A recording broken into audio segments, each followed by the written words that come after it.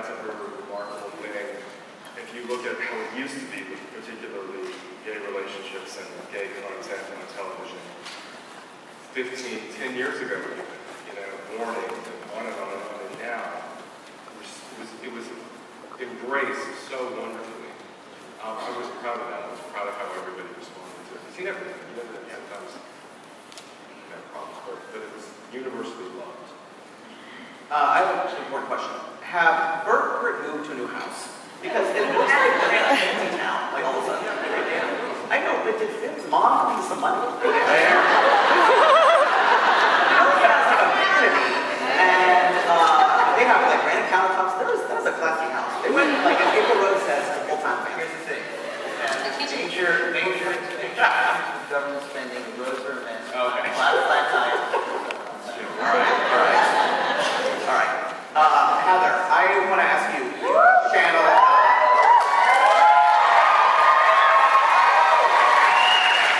channel two of today's biggest pop stars, Britney and Kesha. Which one was more fun? Kesha, because it was on my birthday. yeah. And also, what is Kesha vomit made of? It? Was like um, milkshake material, I guess. It, but it didn't taste like milkshake. It tasted like chalk. kind of. Wow. How I know that? Yeah. Is that, oh, okay, this, is, this might seem gross or not, but when I see scenes like that in TV, I'm always like, how is that person not gagging themselves? Like, was that gross to film? No, it was, I mean, No? it was my birthday. So I was like excited because I was like, oh my god, my birthday, I'm getting vomit. and I'm drinking, I wasn't even, you know. Yeah. But she got to do it too. We were both like, Right. I just. we were both. Speaking of that sort of, Britney Spears. Um, uh, you actually got to meet her, which uh, you know very few of us have been able to do. Um, what was that like? for myself. Yeah. Um, I had met her previously before I auditioned for her. I got to dress up as her in a dance submission. And so I was like completely dressed up in her, like her whole outfit, and I was singing as Britney Spears for a choreographer. And so afterwards, she was like, "You were like perfect for me." And then worked to I don't know three years later, and then I'm doing exactly the same thing.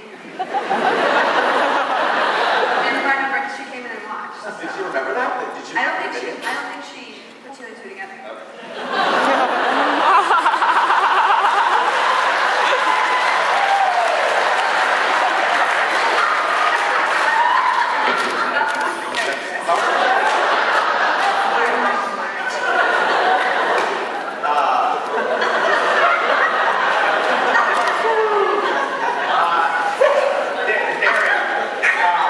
Okay, so after, after silly love songs, have you been able to walk into a gap?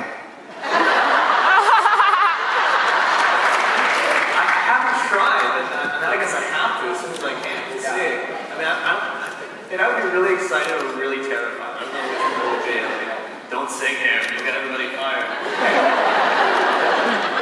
Was that, was that, that was, that production looked incredibly elaborate. Was that, uh, was that a long day of filming? That was, uh, yeah, because I recorded that song in New York, a lot of the songs, if not all the songs except for one, I recorded in New York. So I was told at like noon on one day that I had to go to New York. I left a number of hours, did the song in New York, then flew back in the middle of the night and basically took the car from the airport to the Gap and did the song that I recorded less than 24 hours prior in New York City, in LA, in a Gap I'd never seen before, and number that we had hardly choreographed. So it was awesome. I mean, it was, long state of energy.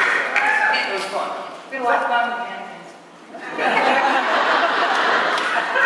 with mannequins. Life is always fun when there's mannequins. So, can you? Can explain?